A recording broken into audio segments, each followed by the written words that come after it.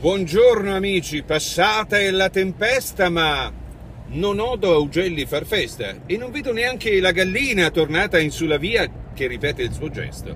Scherzi a parte ragazzi, sto andando a lavorare, oggi però non mi sentirete, oggi è un turno di redazione, però quando questi turni si gettano le basi per eh, le puntate successive di Nota la Nota, un po' di spunti, un po' di idee e un po' di argomenti da trattare nei prossimi lunedì. E vi ricordo l'appuntamento lunedì dalle 21 alle 22 con Nota la Nota e sarà molto interessante la prossima puntata.